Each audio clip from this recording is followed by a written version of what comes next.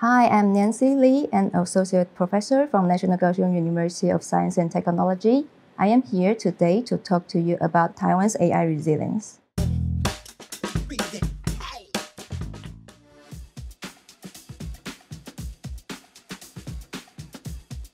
So I'm assuming you are talking about the Skynet from the uh, movie The Terminator.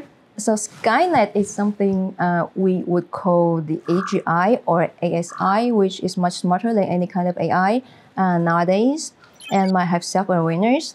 AI can now be briefly divided into two categories. One is narrow AI, operate only depends on human instructions, only um, operate in certain area or certain fields, like ChatGPT, for example. So on the other hand, we have AGI or ASI, that is we call a full AI. This kind of AI can do any kinds of things. The elements assistance called Jarvis, it can be an example of full AI, smarter than people, can think things like people, can have people's logic, humans' logic. So this kind of AGI hasn't been developed yet. OpenAI has um, a very comprehensive um, guideline to guide the responsible development of AGI. Maybe one day AI can have their own self-awareness. So I think it's possible, but not not today.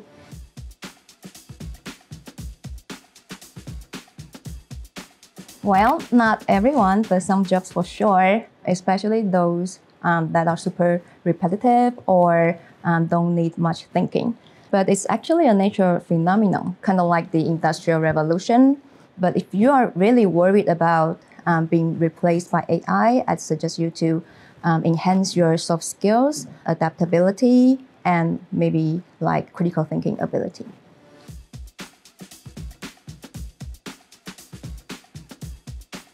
So the information war um, between Taiwan and China is not news and the development of technology that is the emergence of generative AI might make this information and this kind of uh, intended manipulation more e efficient. The election of Trump in 2016, yeah, that is the typical example of information war between US and Russia. So in Taiwan, we are not just building technology infrastructure, we are also uh, working on public policy and public awareness. For example, the government and civic groups like g0v um, are teaming up to create like uh, open source tools for um, fact checking. And in education, we are emphasize ability of media literacy. The fake news and disinformation is really hard to um, detect. Parameters or like the patterns of this information evolve so quickly, so uh, it is very hard to keep up. People need to raise their um, media literacy ability as well. They need to learn how to like be challenging to a message they receive. If you like the show, please subscribe and leave your comments below.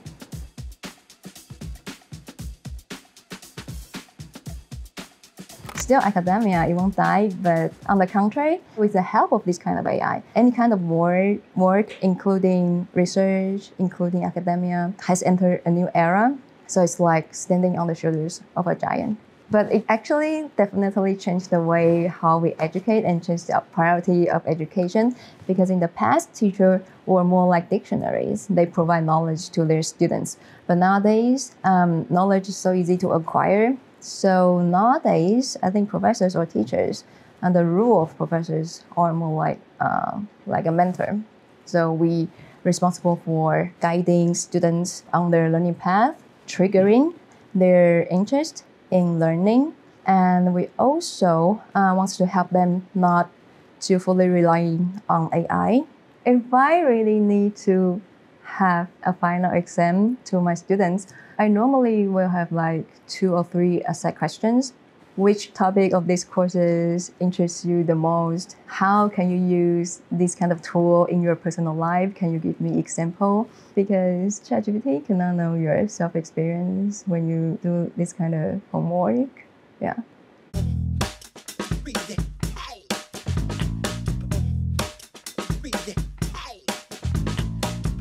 Quit one, generative AI is revolutionizing the way we think about creativity, productivity, and innovation. By leveraging vast datasets and cutting-edge machine learning algorithms, it can generate text, images, music, and even code with astonishing fluency. As we move forward into an increasingly AI-powered future, it is essential to embrace the opportunities while addressing the ethical considerations. Generative AI isn't just a tool, it's the next frontier of human imagination and digital transformation.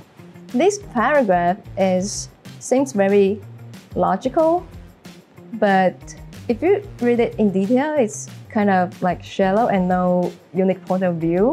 I guess it's probably like written by AI. Mm, and there's also a dash there. Yeah, I think this is probably also written by ChatGPT as well. Yes, I asked ChatGPT to write a most ChatGPT uh, article it could write. Okay. yeah, this looks like ChatGPT's words. Quiz 2. I propose to consider the question, can machines think? This should begin with definitions of the meaning of the terms machine and think.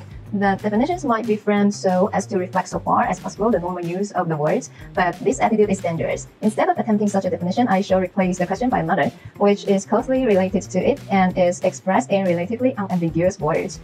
Um, I think this is quite deep, this paragraph. If it's written by an AI, it must be an AI that um, developed for academic use because this is so academic. And my professor back in NTU just loved to use the word um, ambiguity. This is either written by a researcher or an AI, a very high performance AI, um, developed for academic use. Okay, it's actually Alan Turing uh, in the article Imitation Game. That's why this is so like deep and academic. Okay, quiz 3. Artificial intelligence has long fascinated sci-fi and fantasy writers. Arthur C. Clarke, William Gibson, Iain M. Banks. They've all mined it in their fiction, but now such futuristic visions are fast becoming fact. From his new post as Google's Director of Engineering, AI developer Ray Kurzweil has predicted that by 2029, computers will be able to outsmart even the cleverest human. Stephen Hawking and Elon Musk, the founder of PayPal and Tesla, clearly think he's onto something. Hmm. I think the sentences are quite fancy, fancier than AI generated content, but there's also a dash. So it's very hard to tell. I'll say it's human if I had to choose one. It's human. Okay, it's a BBC essay uh, or article journalism in uh, 2015. So yeah, it's it's human writing. Okay, yeah. The differences between AI generated content and human written content is that AI generated content um, usually very logical, of course, but lack a specific point of view, lack a unique point of view. So do not use ChatGPT to write your homework.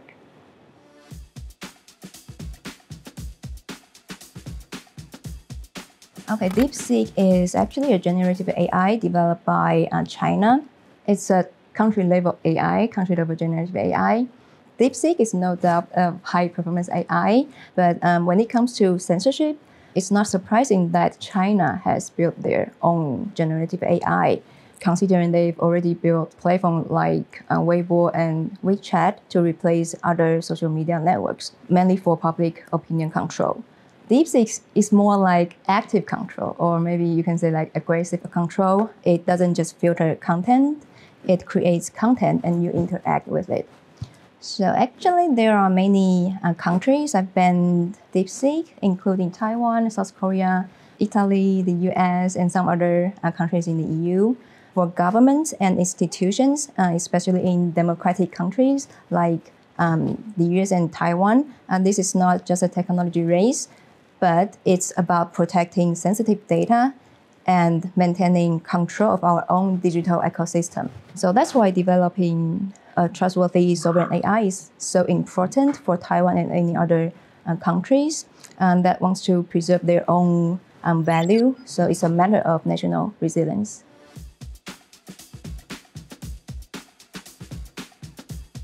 Taiwan has launched a government-led LLM called TAIDE. It brings together universities, research institutions, and startups to develop a localized language model based on traditional Chinese so this kind of uh, LLM reflect Taiwan's democratic values and cultural identity and to offer a different choice from China's simplified Mandarin AI. It's not about like to do a better AI, then ChatGPT is about to have our own control of our own like infrastructure and data and user behavior and user information, something like that. But I think the main challenge is still user behavior because people just tend to use generative AI built by big countries or something like that. So apart from technical abilities, I think branding or marketing is also very important as well.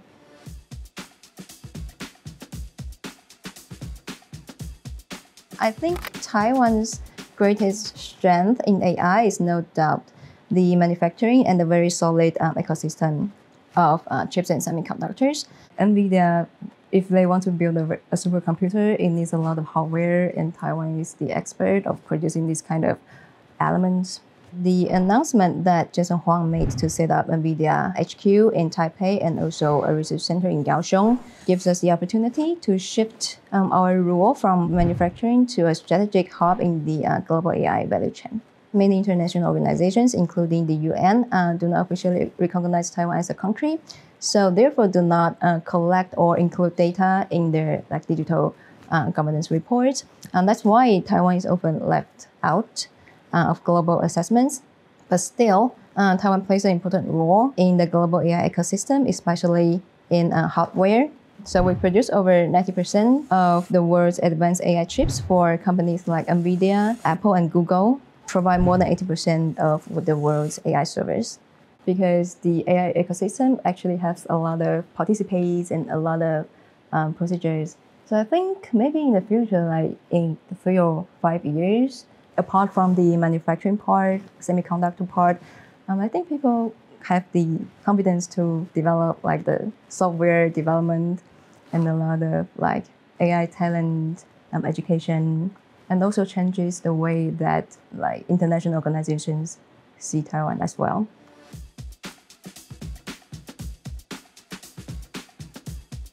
So I think um, there are two main reasons for this gap. The first one is the Taiwan's industrial development history. So for decades, um, Taiwan has specialized in hardware manufacturing and OEM, and our economy has basically relied on this kind of uh, industries. So more and more resources were put in this area that a very solid uh, foundation to produce AI infrastructure, but this also leads to the second reason why this gap exists, that is the way of education.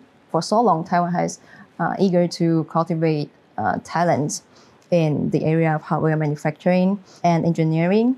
But engineering emphasizes like single best solutions and standardized answers.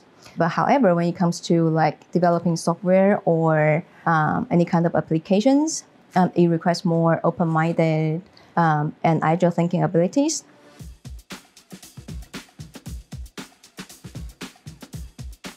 The term Smart AI Island shows the vision of Taiwan being a hub for um, AI ecosystem value chain.